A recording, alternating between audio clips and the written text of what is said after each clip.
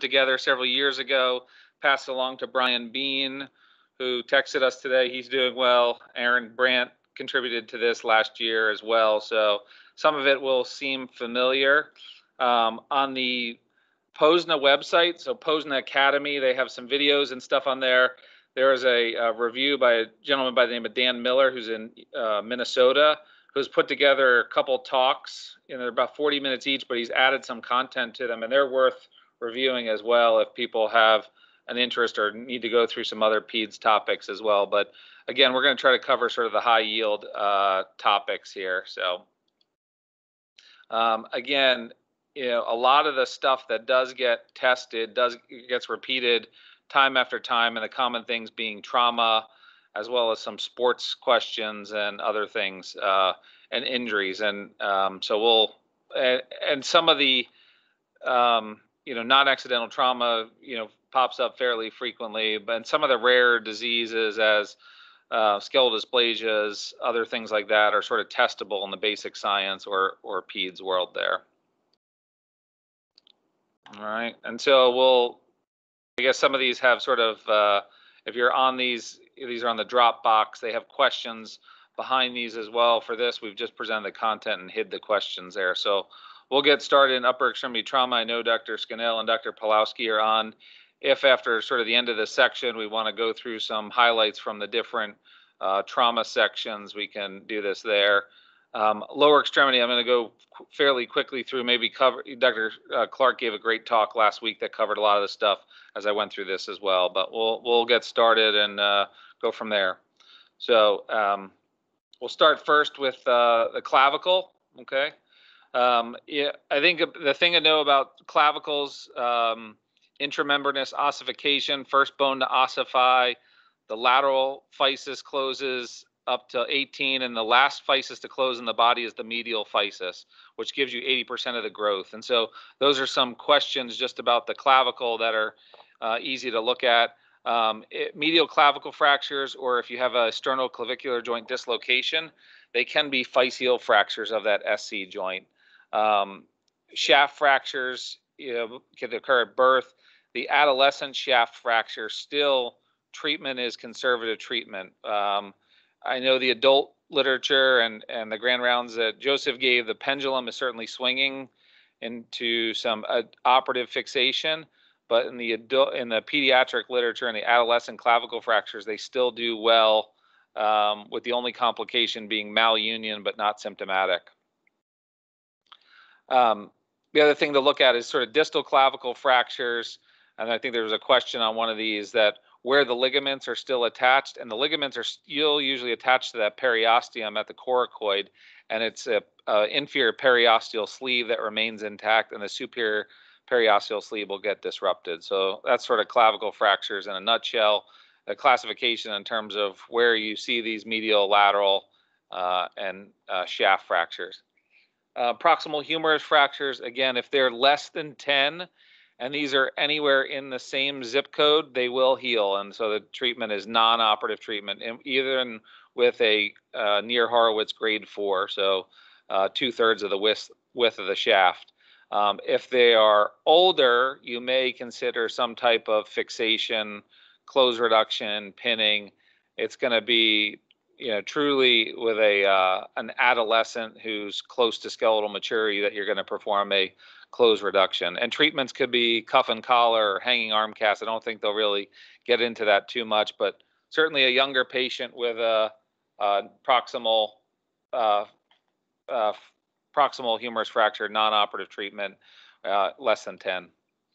All right, uh, elbow fractures, you got to know sort of uh, the, everyone has a mnemonic for this. I think the crypto is nice and um, uh, politically correct in this on election day. So just understanding what how um, the uh, physis, I'm sorry, the uh, ossification centers of the elbow sort of come together. So the capitellum is first, then it's the radial head, then the medial epicondyle. So you'll see that early, but we don't usually see fractures of that till later.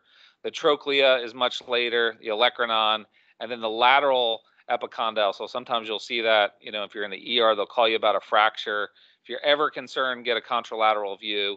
Um, but understanding that when you're looking at an elbow injury and you may have a transphyseal fracture, which um, could be from non-accidental trauma in kids. And so just a relationship for the nerves when you're doing cross pinning. Um, so the ulnar nerve is at risk when you're doing a medial pin.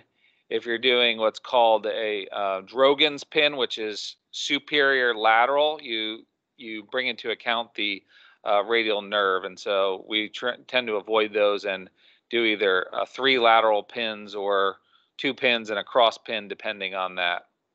Um,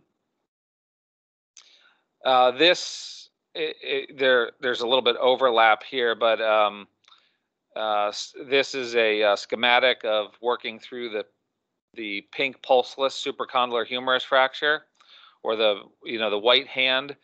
The if you're presented with this uh, in your on your exam of what to do, the thing to do is take them to the OR, perform a close reduction and percutaneous pinning, and then reassess the pulse. And so on a you know on a fairly urgent basis. And then I think it's controversial what you do there unless you have a poorly perfused hand. Um, then that may be sort of an open reduction and in, in you know, identify the artery or a white hand. But you don't need an angiogram. But it's if it's a if you have a pulseless supracondylar humerus fracture, close reduction, pinning, and then reassess uh, the pulse there. All right. And so, you know, this is, uh, again, sort of going through some of the, um, uh, of what I just sort of talked about, sort of the pink pulseless. If you get a, uh, if you have a pulseless, I'm sorry, if you have a well perfused hand, maybe a Doppler signal, or at least uh, it's well perfused compared to the contralateral side, you can observe, and that pulse will come back. But observing in the hospital is appropriate. If you do truly have a pink pulseless that's dysvascular, um, and after you reduce it, then maybe re- look at your reduction, remove the pins, and re-reduce because you want to restore. You've taken one that's pulseless and now you've given it no pulse um, or made it dysvascular. And if it's still dysvascular, a white hand, which that's how they'll describe it, dysvascular or white hand. I think they'll use these sort of com, uh, you know, these words. You would do that would be an indication for open exploration. All right. Uh, complications, nerve palsies. Uh, AIN is the most common. All right. Uh, uh, posterior lateral, so where the distal fragment is going, so an extension type. You're going to have a posterior lateral, which gives you a big anterior medial spike. That's going to be your AIN palsy. A posterior medial fracture is going to give you a radial nerve, and flexion type are going to give you ulnar nerve. All right, and higher nerve injuries with flexion type as well as a floating elbow. Um, again, we talked about what to do with vascular insufficiency, ulnar nerves. You can to avoid this, you can make a small incision they talk about increased compartment syndrome and floating elbow. It's probably increased nerve injuries more common than um, than truly the uh, the pulseless. I'm sorry, the uh, compartment syndrome. And then complications. Um, you know, they may present somebody who has what's called a gunstock deformity or cubitus varus. Um, you can correct that to avoid uh, cubitus valg. I'm sorry, to avoid um, a tardy ulnar nerve palsy um, as well as um, um, posterior lateral uh, rotatory instability. Um, again, it's it's from, and this is it is a mal. What causes cubitus varus is a malunion of a supracondylar. So you got posterior medial rotation. All right. Dr. Scannell, Dr. Pawlowski, anything else on supracondylars that we sort of um, probably need to address before we move on? No, I think those are the keys. Yeah, that there will be a there will be a uh, you know a question on it. You know, they have a, a you know a third level question. Maybe they show you an exam. You know, they show you somebody who has a supracondylar humerus fracture, posterior medial, and then they say what exam. If they have a nerve palsy, what would be the exam finding? So loss of IP flexion uh, for an AIN uh, palsy.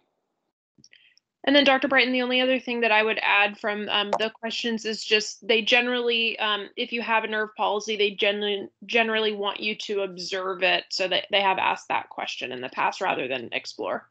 You do not need to explore. unless you put an ulnar, a pin through the ulnar nerve, then you just remove it. All right. So moving on, um, lateral condyle fractures, um, if they have less than two millimeters of displacement, uh, or then you, I'm sorry, two millimeters to four millimeters, you can do a closed reduction and pinning, even an arthrogram. Uh, if it's more displaced or rotated, you would do an open reduction. You try to avoid uh, the posterior blood supply. Again, if they heal with a malunion, they can get cubitus valgus and an ulnar nerve palsy. And overgrowth is a common um, a common um, complication with these. They get these lateral spurring, and while it's not really considered, uh, people call it a complication. It's a known thing. It, what it means is that you've stripped off that lateral periosteum. Um, medial epicondyle fractures, an absolute indication to fix it would be an incarcerated fragment in the joint associated with an elbow uh, dislocation. I think the other indications to fix it in terms of displacement, other things are um, are a little bit softer and and controver- a little bit more controversial.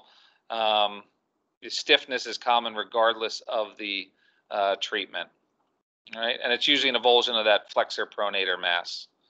Um, again, here's sort of the lateral condyle fractures. Um, even with a non-union, such as this picture in the bottom right, you can do a ORIF and just actually still fix it sort of in situ there. Sometimes you you may need to do some type of uh, takedown or get it there, but um, they'll talk about non-union still doing an ORIF.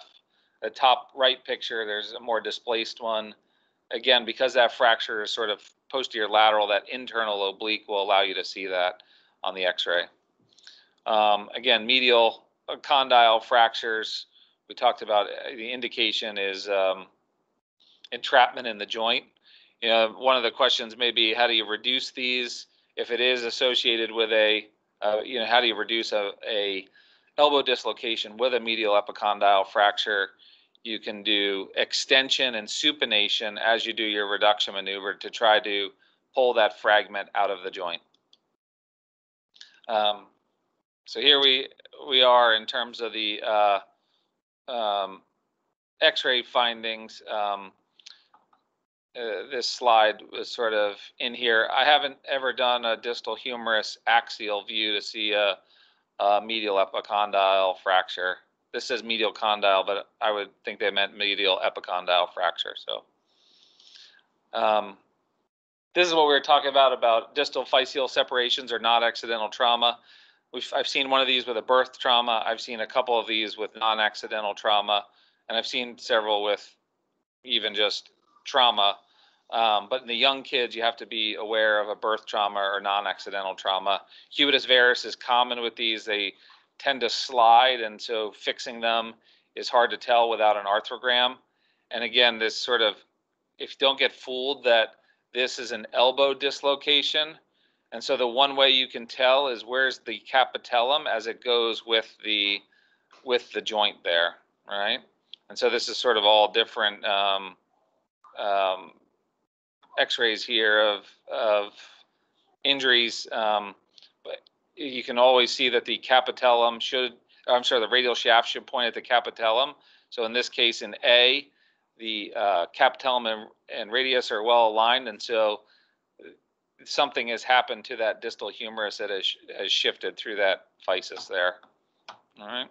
And the treatment again is closed reduction, pinning. You may think about an arthrogram for that as well.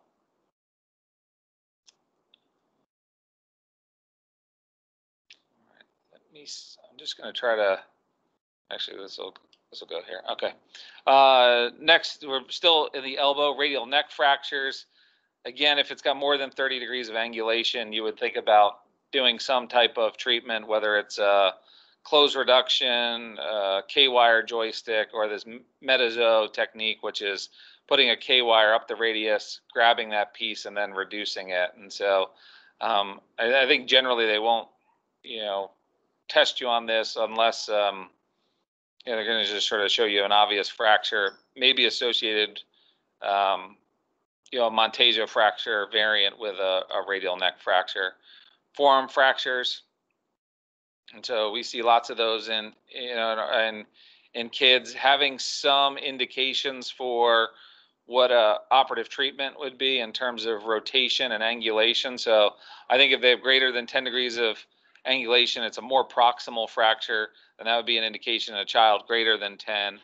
Um, bayonet apposition you can certainly accept in children less than 10 years of age, um, and uh, operative fixation either with flexible nails or or ORIF. Uh, they probably wouldn't give you both choices unless the patient was clearly skeletally mature. That there's a refracture risk. I think the other things is there's a paper that reports compartment syndrome with multiple three reduction attempts and rod passage. And so if you, if the scenario would be if you are trying to uh, fix or operate on a both bone forearm fracture and you pass the rod more than three times, what should your next step be? It should be go to an open reduction or an open assisted reduction to then pass those nails to avoid compartment syndrome. All right. Um, and plastic deformation in these fractures does not remodel. And so you do have to, you know, in a case like this where it's green stick and a little bit, but a large plastic deformation of the ulna, you have to re- you have to reduce that there. Right? Monteggia fractures, I don't think they're going to test you on Bado classification, but type 1 being the most common is anterior, uh, type 3 being lateral, right? Um, um, and then the type 4 being associated shaft fracture, radial shaft fracture with the um, with a uh, ulna fracture as well, leading to a radial head dislocation. Um, a lot of times they um, uh, it's a it's a very subtle finding, so not missing that on the X-ray. Um, but I think the treatment is you have to fix the ulna. Uh, if it's comminuted, you have to plate it. Uh, you can for you can do a closed reduction. You can do intramedullary nailing if it is a short transverse fracture. But if they're longer oblique or length unstable, you have to think about some other treatment. All right, so moving on, uh, cast index has been um, applied before, uh, cast index has been uh, treated before, sort of how to calculate it. They may say, they could give you these measurements or this little, they're not going to give you that the cast index equals A over B, but sort of it's your lateral divided by your AP. And so you you want a smaller cast index. You don't want a, a large cast index. And so if you just look at your forearm, it is, if you're looking at your forearm, if you look across your radius to your ulna, you're wider there than you are from your your um, the volar to the dorsal surface there. And so, however you would remember that, it's that sagittal width over the coronal width there for cast index. All right. Any other upper extremity comments? Um, they didn't really, we didn't really get into distal radius fractures, small, um, if they're late presenting with a Salter Harris 2 distal radius fracture, if it's more than seven days, you may not try to manipulate it or you may just let it heal rather than manipulating it to avoid growth arrest. That may be another sort of question there. Um, you can have associated compartment syndromes with distal radius fractures in kids. Um, Brian or Mike, anything else if you're still on? I just put a comment in the chat box. Um, the distal humerus axial view for medial epicondyle um, is probably testable. It's been out about five years now. Uh, I put the link to the paper that was done. It was a cadaveric study, but that um, that view actually marks the most uh, displacement of the medial epicondyle. So I, I think it probably is reasonable for them to test on it. Okay. Um, and Dr. Brennan, yeah, there there is a question about that that has come up before. And then the only other thing I would say is there's um, regarding elbow injuries, is there's been a question before about sort of if a kid at a supracondylar comes out of the cast at three weeks, comes back six weeks later, still has some stiffness of the elbow, and they they basically want you not to do anything to it, knowing that the range of motion is going to continue to improve over time. Yeah, there, I mean, the papers say that there's no indication for physical therapy, um, and that they should get 90% of their motion back, and they will, and they will get keep getting. I'm sorry, they will keep getting motion back up to a year. But in that paper, about they have most of them have 90% of their motion after six weeks after their pins come out. Although sometimes we do get therapy. Yeah, some do, but they don't want they not in this one. They want you to just sort of take it easy. So, uh, all right. So we're gonna move on to pelvis and lower extremity. It looks like we, um, again, I think some of this is going to be a lot of stuff. A lot of the pelvic injuries in kids are non-operative. However, you know, as Dr. Clark mentioned in his talk last week, apophyseal injuries are testable. So knowing where the insertion uh, of these muscles, origin or, insertion of these muscles are, that may lead to avulsion fractures. And so while you can see lesser trochanter fractures in adults, and that may represent some malignant or pathologic fracture, in kids, the iliopsoas can pull that off. The uh, hamstrings, uh, adductor magnus, um, and your hamstrings can pull off the uh, ischial tuberosity. Um, hip rotators, the AIIS, they feel a pop in their hip and they can have the rectus femoris. And the ASIS can be either tensor fasciae lata or um, or uh, sartorius there. All right. All right. So um, moving on, um, the close, you know, um, the Delbet classification for proximal femur fractures. Um, so these Delbet ones and twos, the high, the closer you are to the physis or to that, um, and further up the femoral neck, the higher the rate of AVN. All right. It is also a matter of displacement as well. Um, the basicervicals uh, and the intertrochanteric, not uh, lower rates of AVN, but certainly can happen Is as cervical, you know, depending on how it's fixed, may need to um, uh, be, it may fall into varus. Sometimes doing some type of fixation with a spica cast would be appropriate there. And so here's your AVN, AVN rates there with the type 2 uh, being you know one of the more common ones and a 50% risk of AVN, um, whereas the type 4 um, uh, the uh, intertrochanteric femur fracture sort of being um, just a lower risk of AVN of at 14% there. So these are some general numbers there.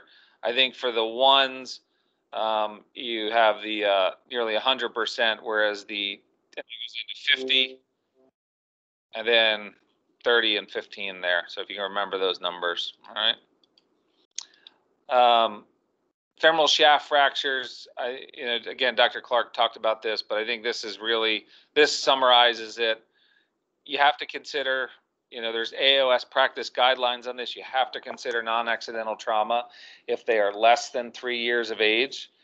Although it's more likely that if they're before walking age, that it's non-accidental trauma. All right.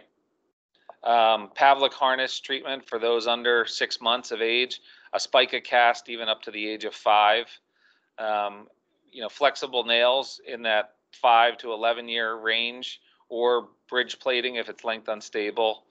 And then lateral entry nails, um, as long as they're not in the piriformis, either troch entry or lateral entry nails if they're older. You may think about an X-fix uh, for a polytrauma. The risk with X-fix is the risk with external fixation is refracture once they come off you can ex- you can get a leg length discrepancy um, with some overgrowth.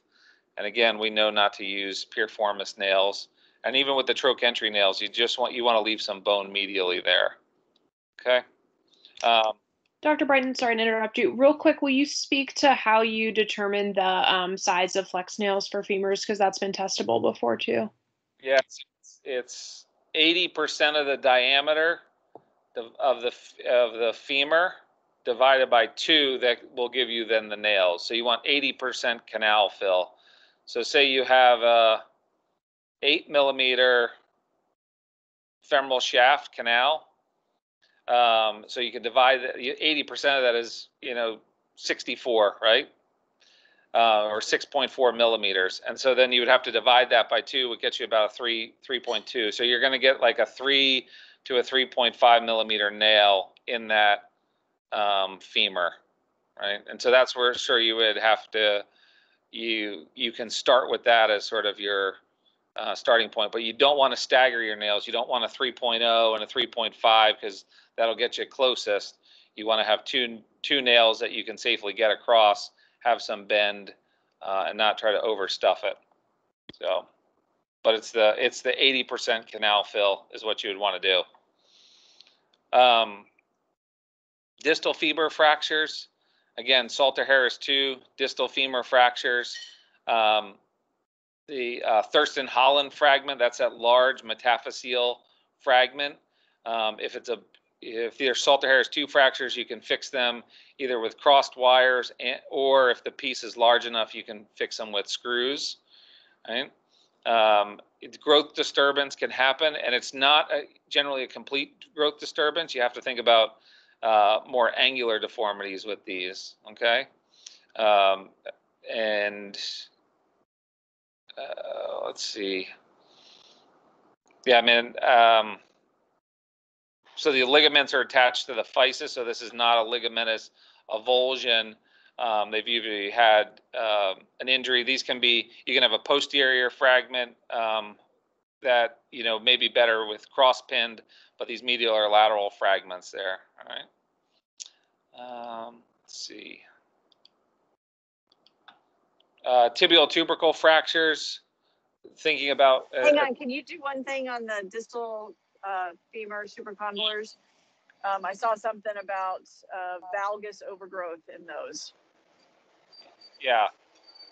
So yeah, so what they um, that would be if you plate a distal femur fracture, exactly. it makes valgus overgrowth. Is that what they're talking about? Yeah, that's I saw a picture or a um, a question on that. So yeah, yeah plating just like plating a supracondylar femur fracture yeah. Uh, can result in valgus overgrowth. Yeah. But the other thing, the other thing would be to think of. So you know, in this example that we have here, um, if the with this fracture here, if you know, depending on the fracture that you have, you can still see that the physis, so we'll call this, I, I don't see the fibula here, although it's this, so this looks like the medial fragment is intact. So these screws went some medial to lateral for this diagram. It looks like the fibula is down there. Um, you could say that this one could potentially grow into some valgus because you still have the physis medially, and then you're starting to grow into some valgus based on that.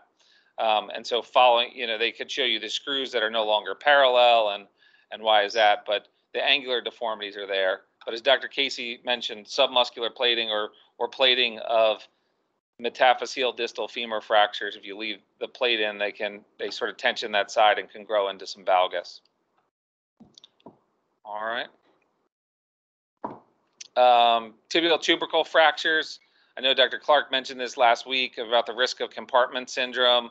Um, you know, these can extend into the joint as well. These require operative fixation to restore the extensor mechanism.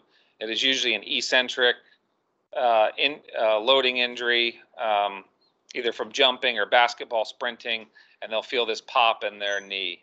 And so those ones that extend up into the joint, the type threes, you got to look for some meniscal entrapment, and you may have to visualize the articular surface either indirectly on x-ray or directly direct visualization there. And so here's this anterior recurrent tibial artery. These would just be um, expanding hematoma within the closed compartment there. Okay. Um, tibial uh, moving down. I know you talked a little bit about tibial shaft fractures last week, but the transitional ankle fractures is important to know.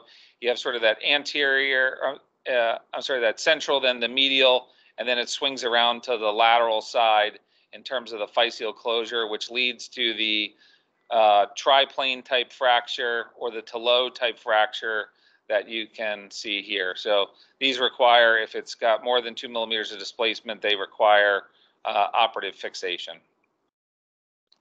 All right. Again, sort of uh, in the physis, where does um, uh, where do physeal fractures happen through? They really happen through that hypertrophic zone. Okay. Uh, the SCFEs as well happen through the hypertrophic zone. Um, most active physes are the proximal humerus and distal radius and the uh, upper extremities and then the distal femur and proximal tibia and the lower extremities there. Right. Bars can, uh, bar, if it's less than 50% um, of the, um, and you can do some mapping with this with CT and MRI, but if it's less than 50% of the physeal surface or peripherally, you can do an excision. Um, if it's uh, if you're starting to get some deformity, you may need angular correction or complete epiphyseodesis there and osteotomy. So just some things to think about a physeal bar. But that being 50%, you can do a resection with interposition with fat um, or some other type of material. All right. Non-accidental trauma. Um, again, they can ask questions on this. If you see a kid with a, a young kid with a um, distal humerus fracture, non-walking age having a femur fracture, uh, these classic metaphyseal lesions or these corner fractures, which are basically happening at the corner at the edge of the physis where the periosteum is attached to that. Um, posterior rib fractures, those are all sort of pathognomonic for non-accidental trauma or fractures at different stages of healing. So skeletal survey may pick that up as well. So, um, but the one thing to sort of do is get um, child protective services, social work, somebody involved uh, to deal with this. And so that that may be the question that sort of pops up there. Um, this this talks about uh, polytrauma, just understanding the children in differences that central nervous system and traumatic brain injury are the most common things that lead to um, both injury as well as morbidity and mortality in these kids. Um, they have a larger head, and so when you're thinking about supporting their C spine, having a cutout or having something behind their shoulders, um, they have smaller airway. The other thing is they ha- they tend to have upper cervical spine injuries less than eight years of age, uh, and not and less subaxial um, uh, C spine injuries. All right. We'll have Dr. Casey take over now. No, we'll do the pediatric hip. All right. Any questions from the lower extremity? Anything that Dr. Clark brought up on last week's talk that I didn't cover? Think it was good that he had done that one recently. So we didn't really talk about tibial shaft fractures. Um, you can do flexible nailing, uh, which we didn't mention in the the adult uh, in the pediatric one, but the weight is about is you know, about 50 kilograms or 100 pounds in terms of failures of flex nailing using flexible nailing if they weigh over 100 pounds. In tibia in tibia fractures, that's not the case for flexible nailing. So you can use flexible nails in in heavier kids. All right, so we'll move on to uh, SCFEs. All right, slip capital femoral epiphysis, or if you're from Australia, SUFE slipped upper capital femoral epiphysis. But this is a failure of the physis through the hypertrophic zone, right? Risk factors, obese, endocrine abnormalities, uh, retroversion of the femur, um, and is more predominant in males than, than females. And so these x-rays show um, a what we call a Klein's line, which is seen on your AP view, and that is a line drawn up the the superior lateral neck and it should touch the femoral head, whereas on a slip side, it would not touch the femoral head. And there you have a slip. Um, knee pain is, in any child that presents with knee pain, you have to uh, be concerned for hip pain. Uh, they're going to have, they're going to go into obligate external rotation as they, as you start to flex the hip, which means that they're going into external rotation as you bring that up. They're going to lose abduction. They're going to lose internal rotation um, as well. Um, again, there's a stable and unstable classification. Stable meaning that you can weight bear on it. Um, and then uh, treatment is basically going to be uh, percutaneous in situ fixation. I don't think they're going to start to ask about surgical dislocation for this um, uh, procedure. Maybe in the the unstable slip, you may think about doing two screws rather than one. All right.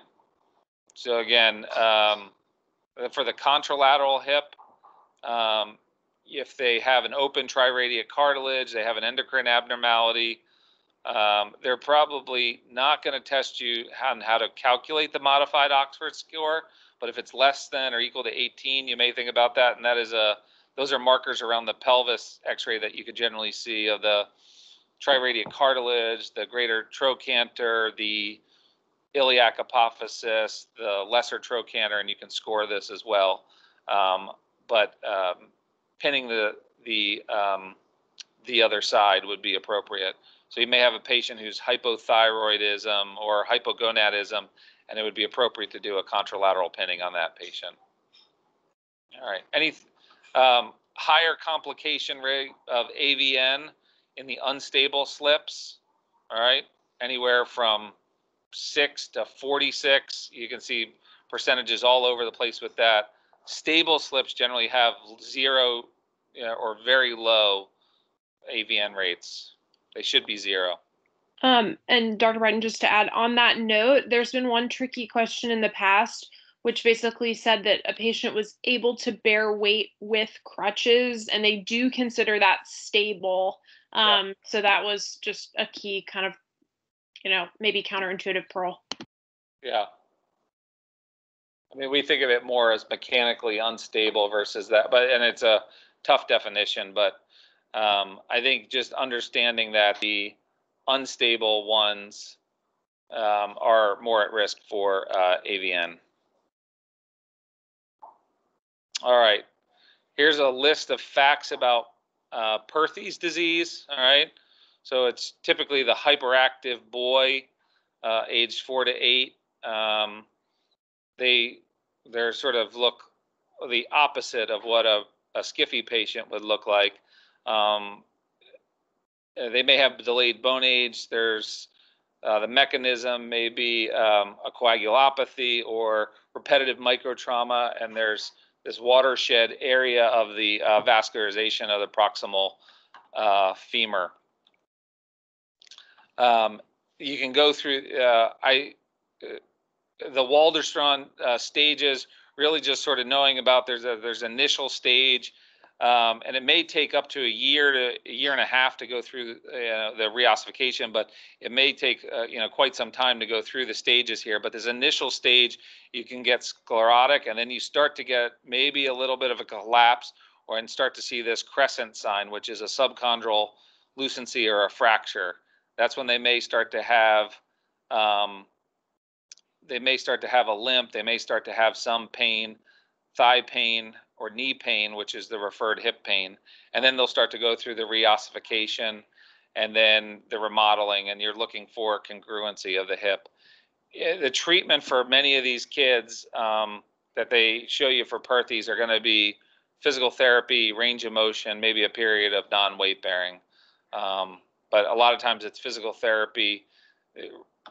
Generally, if you're le- a boy less than eight or a girl less than six, you will do much better um, or if you are a pillar, a lateral pillar A or B, which is seen on the AP radiograph, but it is seen much later. That's it's in that fragmentation stage that you would start to see that. Um, and so here is sort of a the um, the progression of this going from sclerotic to an early collapse to a, uh, some fragmentation and then some resolution where you can see either coxa magna large head, coxa breva, short necks, or coxa plana, a flat head. And so those would be sort of the three sequelae of the femoral head that you may see in, in AVN. I mean, I'm sorry, in, uh, in Perthes disease. Dr. Casey, anything you would add to this?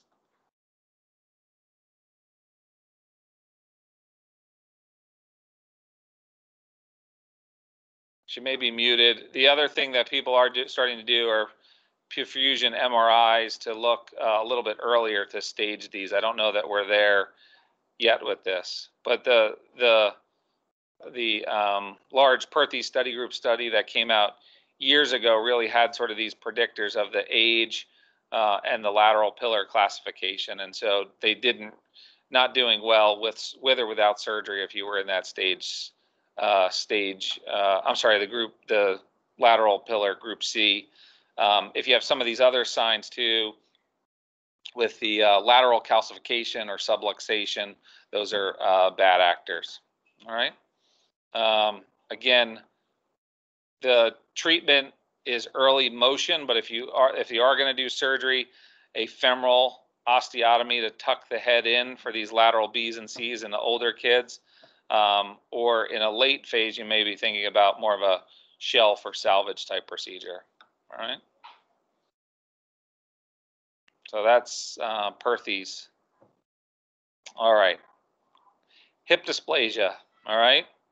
So risk factors for hip dysplasia, family history, breech, firstborn, female. All right.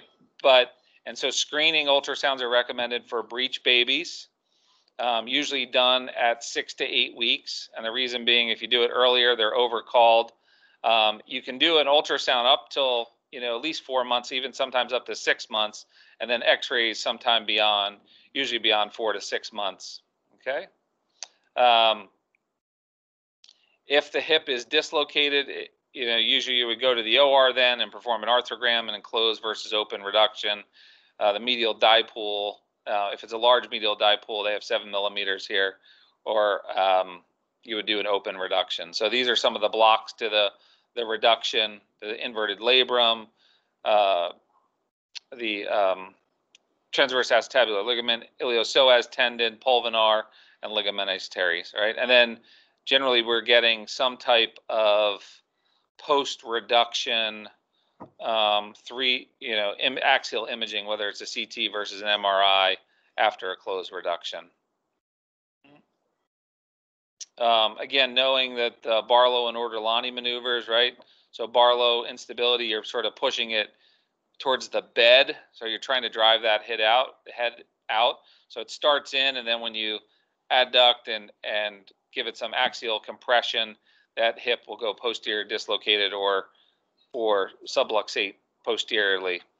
Um, the dislocated, the one that's out, or the ortolani, right? The disloc the hip is out, and that is that hip clunk. So that's an ortolani positive hip, and so those are ones that need treatment. Treatment in the younger child is usually a Pavlik harness. Um, you may see in the later child, um, you know, up to you know even at six months and beyond, limited hip abduction. Uh, if they're walking, you'll see pelvic obliquity, lumbar lordosis, a Trendelenburg gait, even some toe walking to compensate for a leg length discrepancy. Asymmetric thigh folds is another one. It's a it's a weak sign, but you may see it there. So again, here's our treatment algorithm, Pavlik harness. If the Pavlik harness doesn't work after three weeks, you would do a hip abduction brace. Um, and then if you fail closed treatment with a brace, then you go closed treatment with a closed reduction and spica cast adductor tenotomy to include increase our safe zone. All right, and so that's the ability to abduct the hip um, uh, without tension. Um, because uh, as that hip remains out, that adductor gets tight. Um, if you fail a closed reduction, you can do an open reduction. That can either be done medially. Um, the disadvantage of that is you don't get to do a capsulorrhaphy. Um, anteriorly, you can do a capsulorrhaphy, and this and the um, medial femoral circumflex artery is at risk if you do a medial approach there. Um, 18 months to three years, you would generally do an anterior open reduction. Um, you may need to do a femoral shortening osteotomy or a little bit of varus or a pelvic osteotomy. And then in the older patients with uh, dysplasia, you have to do a periacetabular osteotomy. All right. Complications from a Pavlik. If you have a femoral nerve palsy, they're flexed too much. And so you're pinching that nerve femoral head AVN if you have too much abduction, and so you're causing uh, pressure on the posterior vessels. Uh, inferior dislocation or an obturator dislocation, you drive it inferiorly out, and failure is uh, non-compliance or uh, sometimes hips uh, can't be reduced. All right. Any other questions for DDH or comments, Dr. Casey, Scannell, others?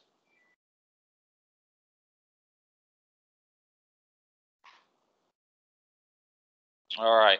Looks good. All right.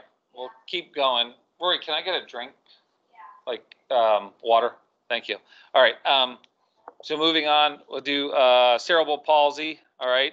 So non-progressive uh, injury to the brain, okay? So it can either happen, you know, uh, in utero or sort of very close to you know, perinatal um, time. It, you know, in, intraventricular hemorrhages may cause cerebral palsy or hemiplegia, all right? So risk factors being premature or anoxic brain injury. Um, really sort of uh, most important predictors for walking is independent sitting by age two. Um, the classifications is, is generally this gross motor classification scheme. And so five being completely wheelchair dependent, um, four being able to get upright with assisted devices and a walker and, and using a, a power chair where um, versus three versus two. Two is sort of walking, but may have to use some um, on a, in a, uneven surfaces. I generally think of the the threes as needing some type of assisted device with braces or um, a walker to get around. And then we have the anatomic. We think about you know quadriplegic, uh, diplegic, legs more than arms, or hemiplegic versus spasticity or ataxic and everything else. So they may ask you GMFCS the incidence of hip dysplasia or um, and uh, hip dislocation, as well as scoliosis, increases as you start to go up in GMFCS classification. So the more severely involved, the more likely you are to have some type of uh, hip dis- dislocation like you have here versus um, uh, versus the uh, ambulator. Okay.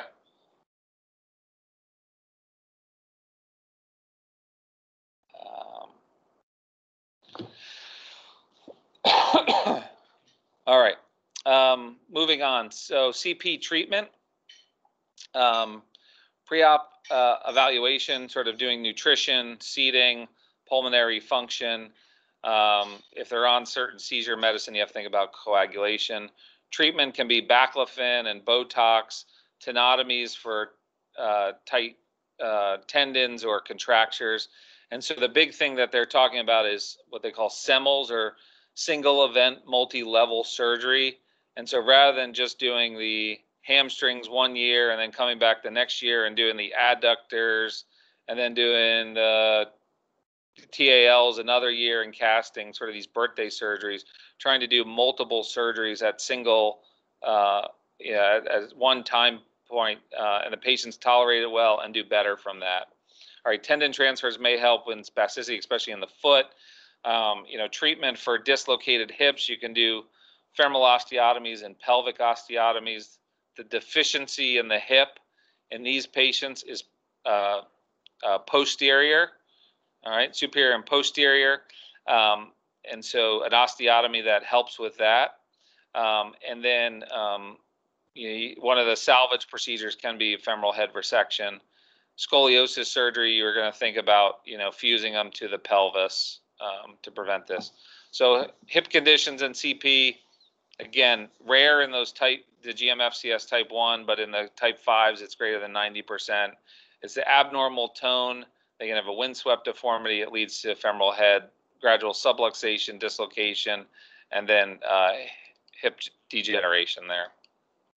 All right. Um, let's see. Uh, this just talks about hip imaging here. I think in the immature pelvis, understanding um, sort of what Hilgenreiner's line is, what Perkins' line is. We talk about acetabular index as a measure off that horizontal line to the edge of the sourcil. All right, should be less than 24 by 24 months. When we're talking about migration percentage, okay, you can see that here. Which portion of how much of that femoral head width is outside the lateral edge of the acetabulum there. All right, and so once you're getting, you know, beyond that 50% femoral head coverage or that migration percentage, that's when you may need to think about doing some type of of uh, hip containing procedure uh, in these CP patients. All right. Um, again, this is the we talked about sort of sourcil, the teardrop drop understanding where the ilioischial and iliopectineal lines are. This is probably going to come up more in acetabular uh, trauma, um, uh, type things rather than it is in the uh, pediatric patient. But you may think about, you know, they may show you a hip and and show you protrusio. Protrusio is when the femoral head passes beyond the ilioischial line here. And so you may see that in conditions such as uh, Marfan's or osteogenesis imperfecta. And so these uh, x-rays here show a Hilgenreiner's line, which is that line through the uh, triradiate cartilage labeled H, Perkins line, which is a perpendicular to that off the lateral edge. You can see that the what's labeled as A here, um, those are, are the acetabular indices measuring 32 and 28. So they're abnormal uh, depending on what the age is. But if you look here, that Shenton's line, which should be following the inferior portion of the femoral neck, is disrupted.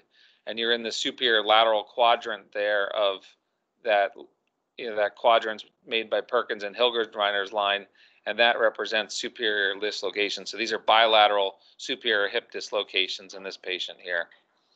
All right. So depending on their age and their pathology, um, you may decide of an open, uh, closed versus open treatment. Uh, if they're older, you may think about an open reduction um, and, a, and, a, combined pelvic and femoral osteotomy.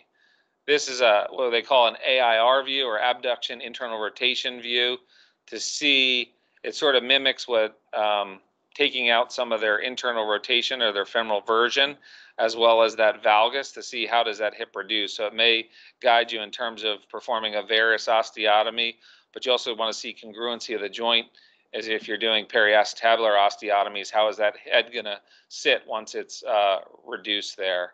And so that's uh, an x-ray that you can use to tell this there. Um, the CP hip is normal at birth. Um, but then just because of the abnormal tone, you start to get uh, some changes as it's going on. So this is again uh, measuring this Reimer's migration percentage here of what percentage of the ossified head is outside the acetabulum there, all right? And as I mentioned before, posterior superior acetabular deficiency, we're in DDH um, or in cases that we're thinking about um, doing periacetabular osteotomies, it's an anterior lateral uh, deficiency there, or they're more deficient anteriorly there. All right. And so hips at risks are sort of, uh, um, you know, they talk about sort of hip at risk. You can do um, Botox, stretching, adductor uh, tenotomies. Once Shenton's line is disrupted and you have, you know, increased subluxation sort of at least a 50%, you may think about VDRO, and if they're completely dislocated, you're going to need to do uh, open reductions. Okay. I don't think they'll get, yeah, they may get sort of give you a scenario and you have to sort of work through that a little bit there. Um, so again, we've talked about what, you know, what those uh, procedures are. Reconstruction um, with an open reduction is usually when that migration percentage is greater than 50%. Somebody want to add something to that?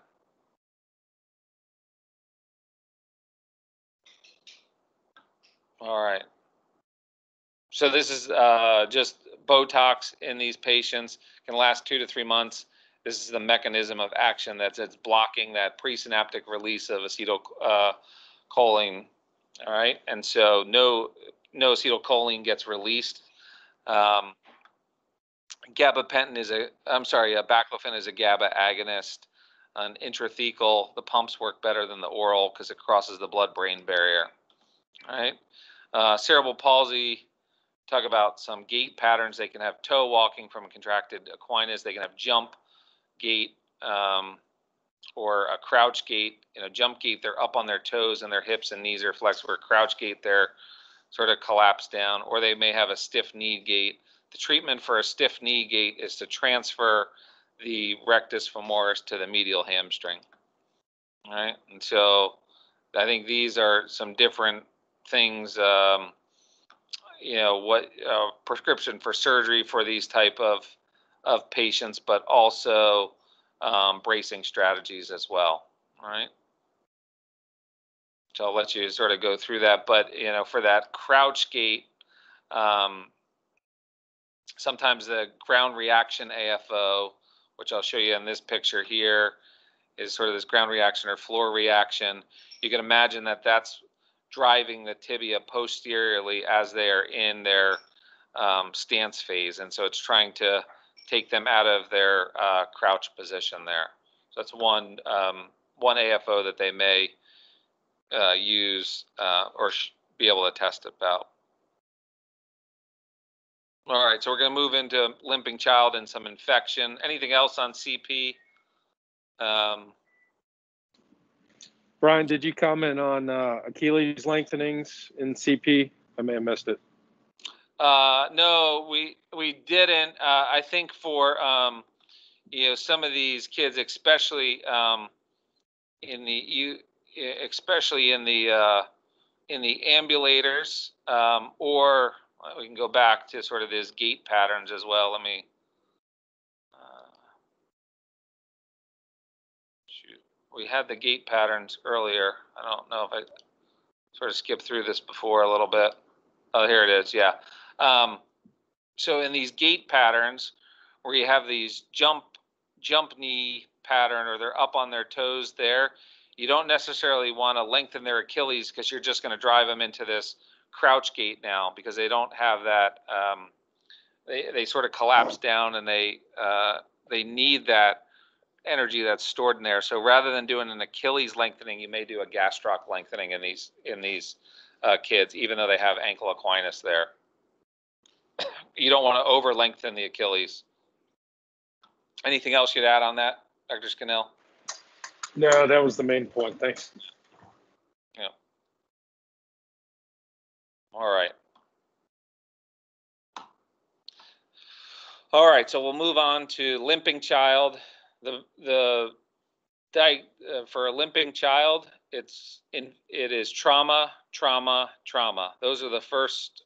That's the number cause number one, two, and three and then it's things like infection or hip problems or something else or JIA or transient synovitis. So think trauma first, and then uh, the um, hip. And so I'm sorry, then then infection. Even though that's not how it usually works in the emergency department.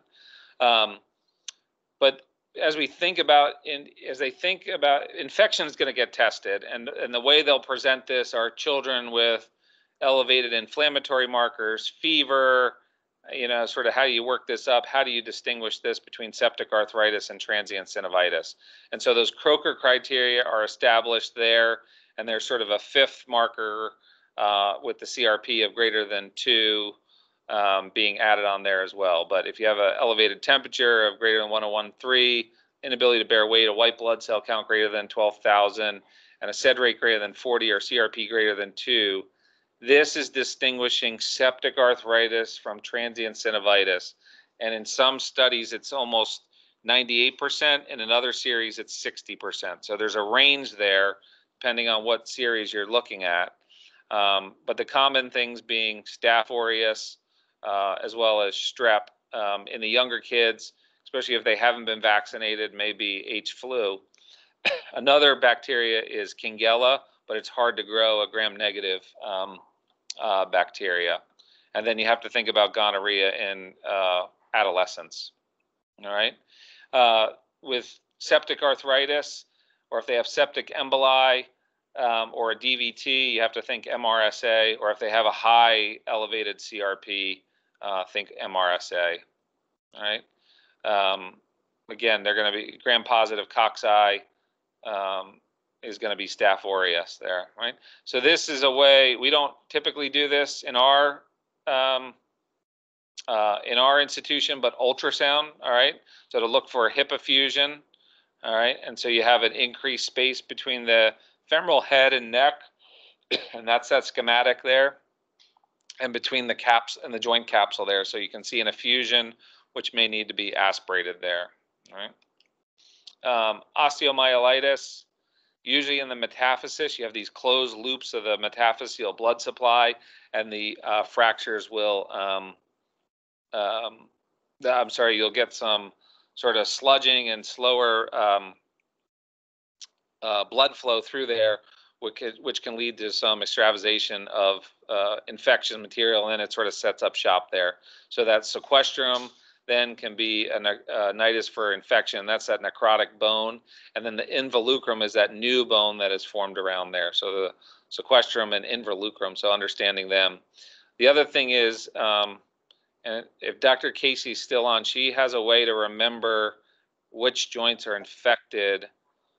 Uh, Except I can't, I screwed it up last time, so I don't want to tell you. I didn't plan for this. all right.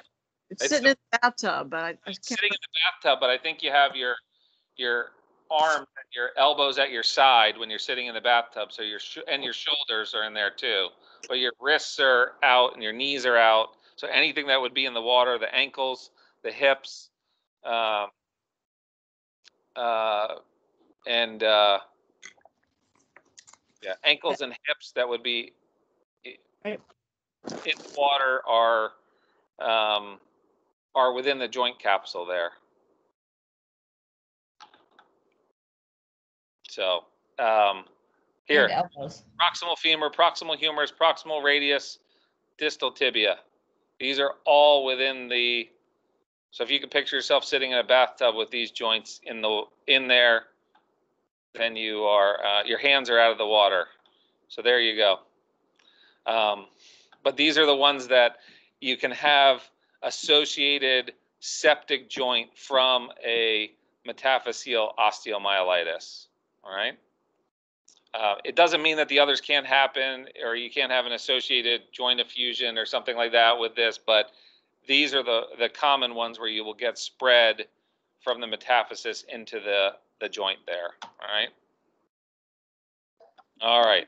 And then let's see. Um, you know, they'll give you a scenario like this. Um, just knowing, uh, you know, pseudomonas is from a foot or a puncture wound through your shoe. Knee pain or rash after you've been to Lyme, Connecticut is Lyme disease. Um, you know, blood cultures. Um, I'm sorry, hard to culture is or gram negative Kingella. So you put it in these blood culture vials. um, uh, neonatal sepsis, sepsis, Staph aureus, and uh, as well. uh, I'm sorry, uh, GBS, and then um, Staph aureus is uh, the common cause for acute hematogenous osteomyelitis. Even in the sickle cell, where they'll talk about uh, salmonella being um, uh, organism that can happen, that you can get it in bone. Still, their most common presentation is Staph aureus infections. All right. And I think also, Ella, they frequently like to say like five-year-old in daycare. Yeah. All right. This is, um, uh, this looks like pharmaceuticals here. So, um, I, I couldn't tell you anything about this other than look at this the day before the test or just don't look at it at all and just give this question away. So I don't have anything to add other than cephalosporins, right? It acts on the cell wall. That's, I know Ancef, that's it. All right. There's more information on that in um, one of the basic science lectures that's available on the Dropbox for everybody. FYI. All right. So we'll look at growth and development, sort of what's normal and what's not. Um, and we go till seven here, Yep. or as late as we want here. Are there any other high yield topics, Kelsey, that I got to get to? Um, yeah, I think understanding we've we, you know we've get I've given this talk before and Dr. Scannell as well about rotational and bowing deformities and what's normal and what's not. So understanding, um, uh, you know, what is normal, and generally observation would be the uh, you know initial treatment. Um, you know, you can have genu varum, which is normal. Then you can have physiologic genu valgum, um, but if it's progressive, you investigate. All right, and then surgery may be indicated. Um, Blount's disease, sort of measuring this metaphyseal diaphyseal a Drennan, which is a uh, perpendicular to the lateral shaft, and then you measure the the angle of the metaphysis. I'm sorry, that physis there, or the uh, metaphysis. Excuse me. Uh, and if it's greater than 20, then that's. Uh, I'm sorry, if it's greater than 16, it's abnormal, and that may be Blount's disease in these younger kids. All right. And so you can brace uh, the younger kids, or you do a valgus osteotomy. In the older kids, you may have to do either an epiphysiodesis or a, uh, a correctional osteotomy there. All right. Tibial bowing.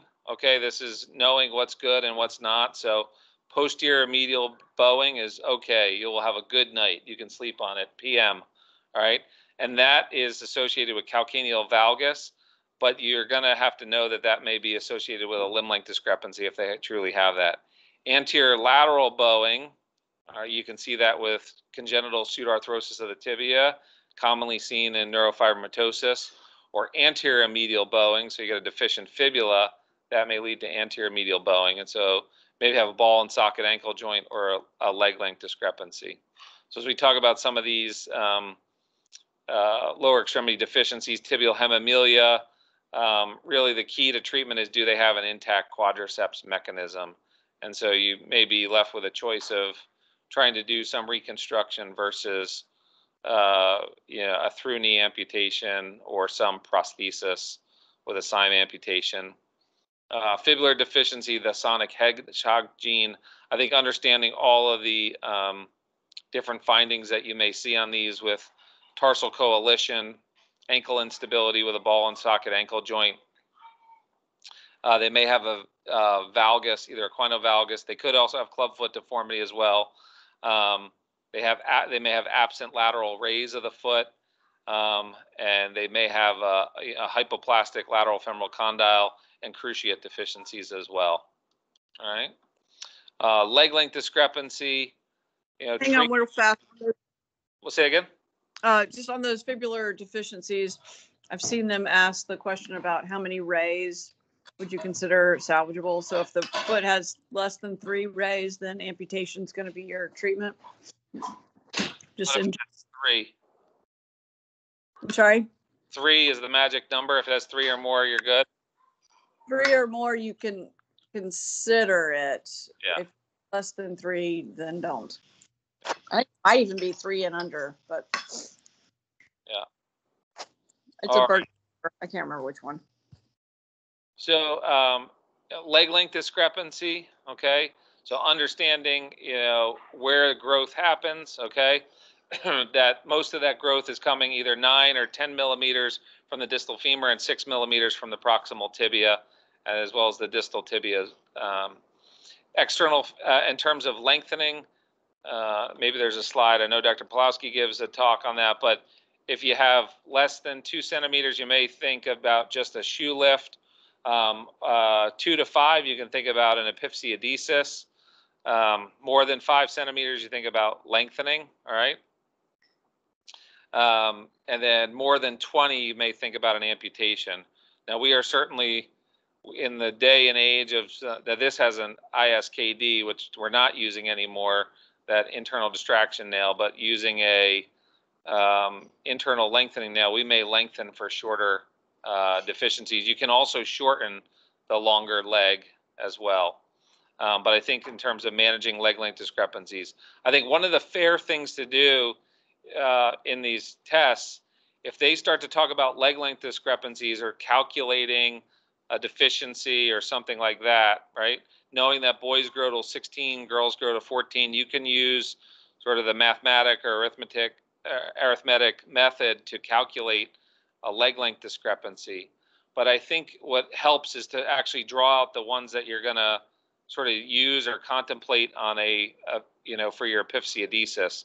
And I think the common thing that happens is they may present either somebody has a growth arrest or had an infection at birth or neonatal infection which shut down you know a femur and they're still growing and so when you go to calculate when you're going to do your epiphysiodesis or something like that know that that femur has already shut down and so even if you shut down the other side it's not going to change anything it's still going to stay the same you need to go to the tibia so hopefully that makes sense but it you know i think as they start to present it think about what is actually working and what is not um, and then what can you slow down on the on the longer side to help you uh, achieve your your goal?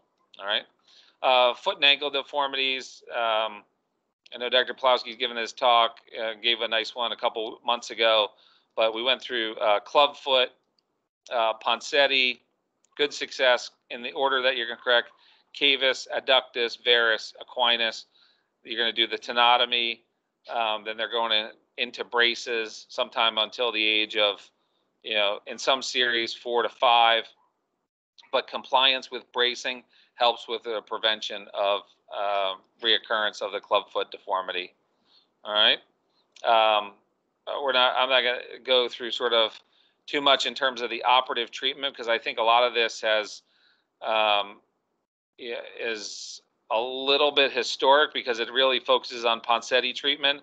But the other treatment you have to know is the for dynamic supination, the transfer of the complete uh, or a tendo, I'm sorry, a um, tibialis anterior tendon to the lateral cuneiform uh, may be done at age four to five. So it may present that a child is showing some dynamic supination, some hindfoot varus walking on the lateral border of their foot. What are you going to do? It's an anterior tib transfer to the lateral border of the foot.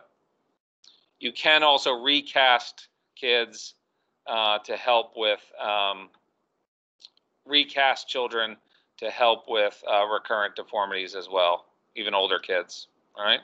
Congenital vertical talus, how do you make this diagnosis, right? It's a maximum plantar flexion view, um, and that talus does not reduce on the navicular.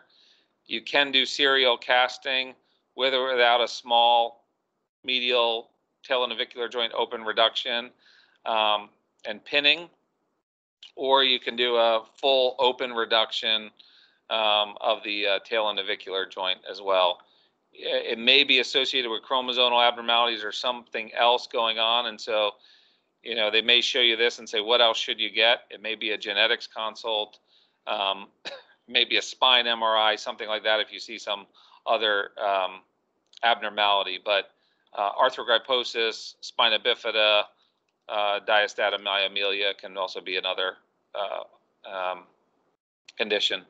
Um, child comes in for flat feet, um, the treatment is usually uh, stretching, orthotics. It's not going to change the natural history, but um, you want to make sure is it rigid or not. If it's rigid, start to think about tarsal coalition, an untreated congenital or oblique vertical talus.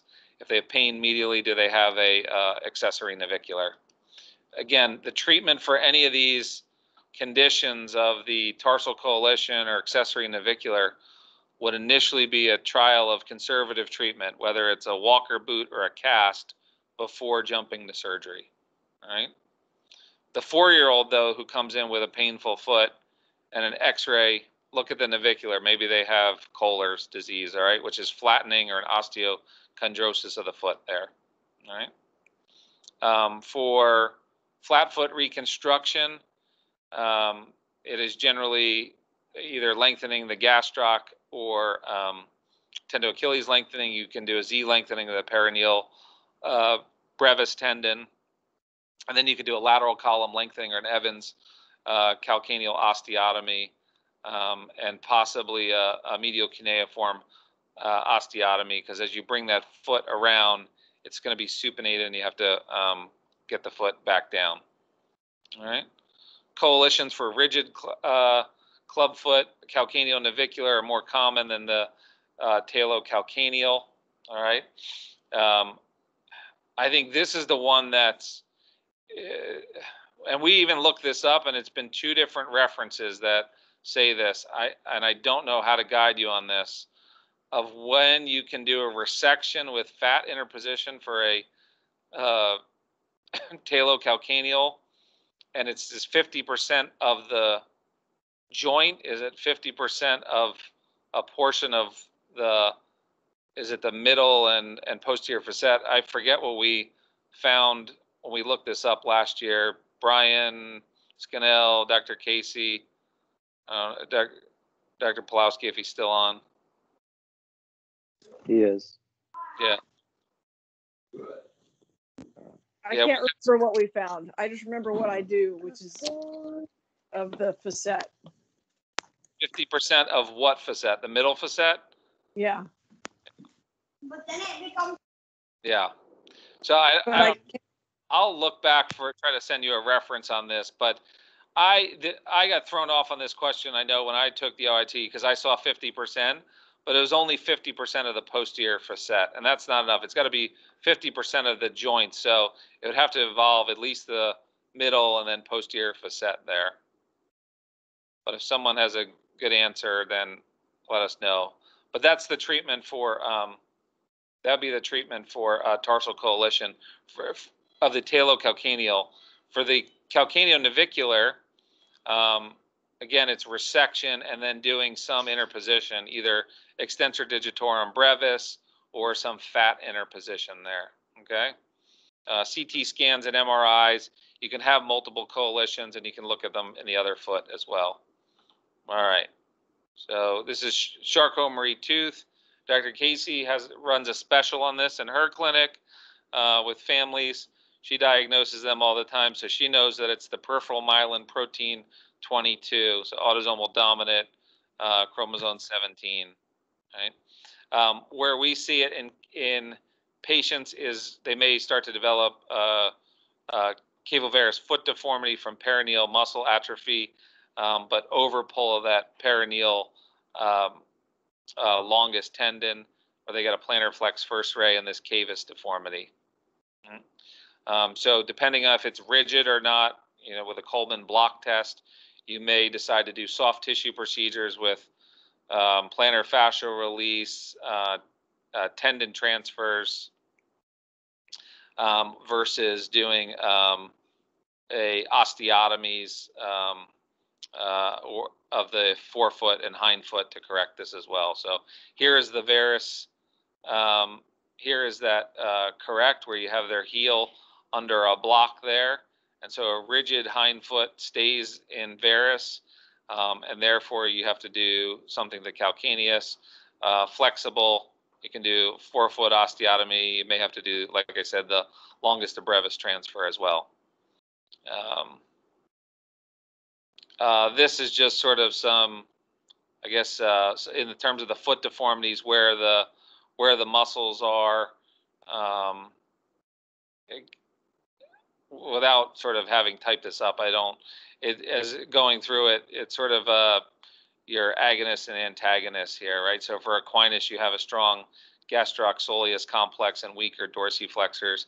Cavus is the intrinsics um, with weak uh, counterposed by weak uh, dorsiflexors, and you have a tight plantar fascia. If you're in varus, it may be posterior tib or anterior tib counterbalanced by the peroneus brevis, which is sort of what we see a little bit in the um, a weak peroneus brevis in the um, um, Charcot-Marie tooth. supination, where we see that in dynamic supination, where we see that in clubfoot, you got to think about the tibialis anterior. Um, the equinovarus and equinovalgus, uh, either in the CP patients. So equinovarus, thinking about their gastrocs as well as their um, posterior tib and anterior tib, as well as equinovalgus, where their foot is kicked out to the side, where they have active, overactive peroneals in the gastroc, and calcaneovalgus, where they're uh, which you may see in sort of a myelo patient where they have active foot dorsiflexors. So it's just sort of a, a summary there. Um, as you go through some toe deformities, um, this bracket epiphysis for the uh, congenital hallux varus. So you have actually the physis that runs along the entire uh, length of the diaphysis. So from the um, from the epiphysis and down laterally there, or I'm sorry, uh, medially there, which will cause this um, great toe. And so you got to do a epiphysiolysis, excise that. Uh, syndactyly, don't operate on it. Polydactyly is common, especially post-axial polydactyly. Um, curly toes, you can release them. Um, yeah, uh, uh, and then you can do a ray resection for some of these overgrowth syndromes as well. All right, so uh, it's almost seven o'clock. Pediatric hand. I don't know how much Dr. Um, Gaston covered in the pediatric hand section. Yeah, um, I feel like we've probably covered that. I know there is a section in the pediatric, um, or I mean, in the hand uh, OITE review. I would say in three minutes, if you want to blast through a few things with um, scoliosis there, um, or we can, if we all need to um, digest what we've heard, we can end it there, whatever you guys want to do. Um, yeah, I think I can go through the spine topics because I think there there's some topics that I could pull out that are high yield. I think for the syndromes and and the other things that are on here, um, you really just sort of have to go through them and hear them and look at them a couple times. Or I'm happy to try to do another night before then if if folks need to. But for we can certainly go through the spine, and I think there's some things. So um, the highlights from um, spine um, adolescent idiopathic scoliosis being probably the most common diagnosis you would see. You know, these red flags, which would be indications either for MRI or to think about something else, are kyphotic because this is normally a hypokyphosis or lordosis. Um, you have rapid progression, atypical, sort of a left curve or a short angular curve or dystrophic curve, abnormalities on exam, you know, abdominal reflexes or or foot abnormalities. So that would be reason to um, think about this. I think these are good uh, parameters to think about. So observing curves less than 25, 20 to 25 degrees, um, bracing curves that are between 20 and 45 degrees, and then surgery for more than 45 to 50. What is probably testable material now is stuff from the BrAIST study. And so they didn't use bone, hand bone age, but that's probably you know could be thrown in there as well. Um, you know, Sanders four below is would be considered skeletally immature, um, but they use Risser sign um, or being less than one year postmenarchal. So if you have at least more than two years of growth remaining, what the take home from the brace study was is that it, with a TLSO brace, not a nighttime bending, but a, a, a TLSO brace, that 16 hours, at least 16 hours, seem to be the magic number to prevent curve progression for an indication for surgery. But still, one out of four patients, um, so uh, one out of four patients who gets braced still can progress onto surgery. So I think the 16 hours seems to be the cutoff, and then one out of four patients can uh, still progress in their intention to treat. Okay. Um, so Risser signs, understanding what those are. Um, this is showing some signs of the skeletal maturity, but this is this RUS. But Sanders really just looked at the phalangeal physes um, to come up with his, and this is, um, I believe, the sort of the Dimeglio um, or um, Sauvegrain with looking at the elbow as well um, as skeletal markers of maturity. Uh, probably not going to test you specifically on the ins and outs of the Lenke classification, um, but understanding, you know, that there are structural and non-structural curves. Structural curves being ones that are um, either have greater than 20 degrees of kyphosis or greater than uh, 25 degrees still remaining on bending x-rays there. And so if it bends out, uh, then it's a non-structural curve there. Um, and then these can sort of help determine which curves need to be fused. Um, talk about stable vertebrae. Um, uh, um, I, I, I, don't know, Mike or Brian, anything else you would add to uh, Lenke here? I, I really think it's the compensatory curves that they would do. Yeah, uh, the, the bending out the bending criteria. What? Say again. Uh, the bending criteria. Yeah. So it's structural, non-structural. Yeah. Um, yeah. Less so than 25 degrees side bending. Less than 25 degrees, yeah.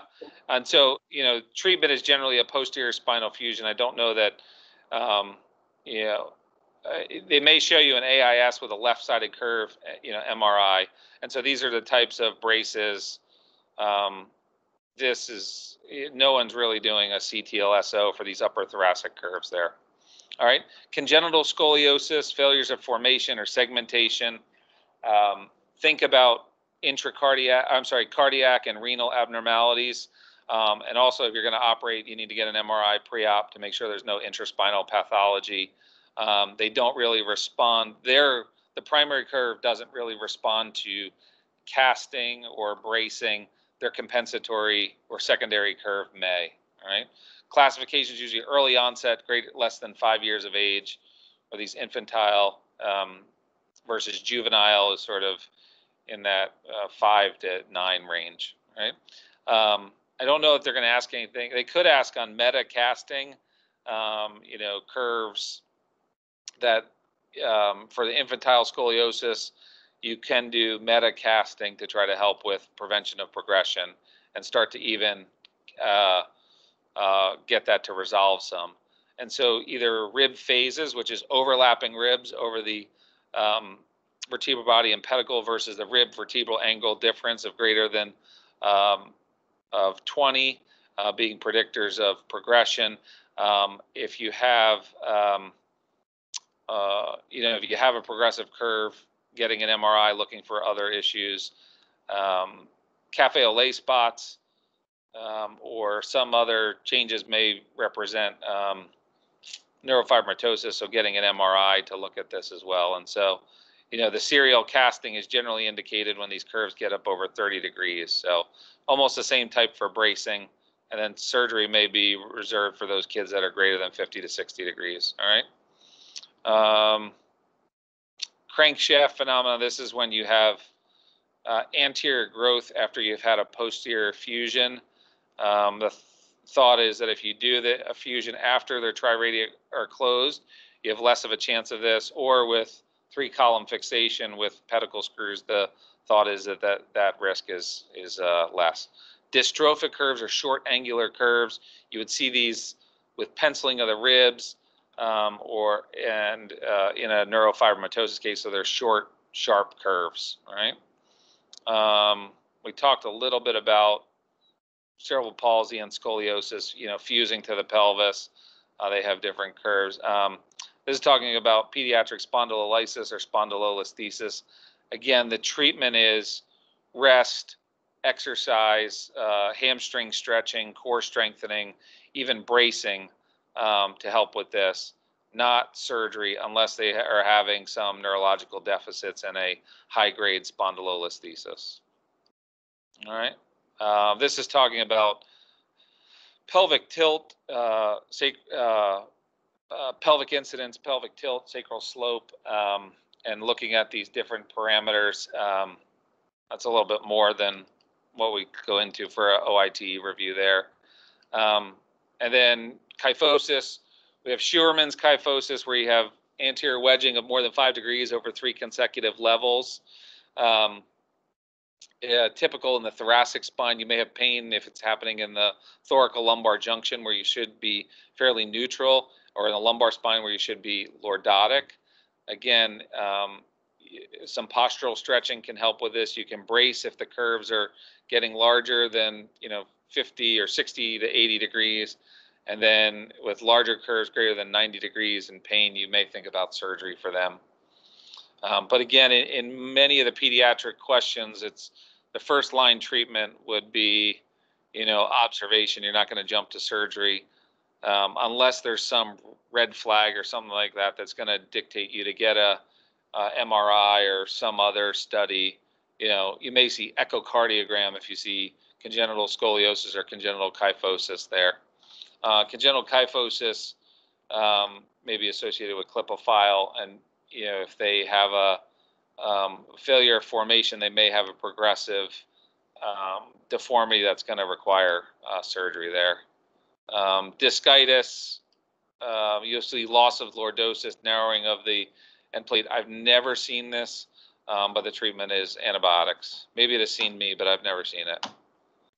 Um, and then anterior, I'm sorry, uh, spines who will progress if you're skeletally mature, immature, or you have a curve greater than 50 degrees in thoracic spine, greater than 40 or 45 in the lumbar spine. Um, uh, males more than females. Females have more scoli- uh, have scoliosis higher rates than males do. Neuromuscular curves and then immature as well. All right. So AIS has a right thoracic, left lumbar pattern commonly. CP has these long C-shaped the neurofibromatosis has these sharp, sharp, sharp, short dystrophic curves. Um, you know, neuromuscular curves can have it, uh, can have a, a, sort of that C-shaped curve as well. And then these allostatic curves are sort of driven by pain. You may see those with spondies or spondylolysis or spondylolisthesis there. All right. Um, Klippel-Feil fusion of cervical spine may be associated with a Sprengel's deformity. Um, congenital muscular torticollis, most common cause. Um, it's almost like an intrauterine uh, compartment syndrome, whether you get a uh, contracture of the sternocleidomastoid. So the head is tilted and towards the uh, tight SCM and the head is rotated away. But if you start to develop torticollis older, think of atlantoaxial rotatory subluxation if you've had some minor trauma or a little infection, or if you've had, uh, or if you're starting to develop, think of some ocular problem um, uh, or a posterior fossa tumor. All right. And the first, and the young kids though, stretching, stretching, and stretching is the the treatment. All right. Uh, Grisel's is an acute, or not UTI, uh, respiratory tract infection or upper respiratory tract infection, and you start to develop some torticollis or acute uh, rotatory uh, subluxation. So soft collar, anti-inflammatories, maybe even some muscle relaxants. All right. And I think that's it for tonight. All right. Did we get through most of the high stuff? As we go through this, I think our, our lectures are designed over the years too to to go through this. But like I said, for those who joined later, if you want to hear it presented a little bit different way, um, Dan Miller from uh, uh, Minnesota and Gillette Children's has a couple on the POSNA Academy and POSNA website that have been well received, and he's done a good job and gone through some of those questions as well. And so um, uh, I, I, think that's another resource. Or if you're on PEDS this month, Kelsey and and Nick and Michael, if you um, want to talk about any of those during clinic, that'd be great. So. Awesome. Thank you so much, Dr. Brighton. All right. Thank you guys. Have a good night. Nice job, Brian. Thank you. Get some water now. Yeah. No, no, no. My none of my kids brought me anything. Get something that's not water now. I'm on call. Uh, drink some lemonade. yeah.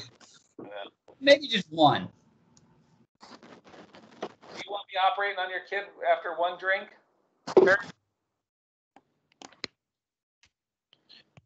Yes, to get that shake out of your hands, you know.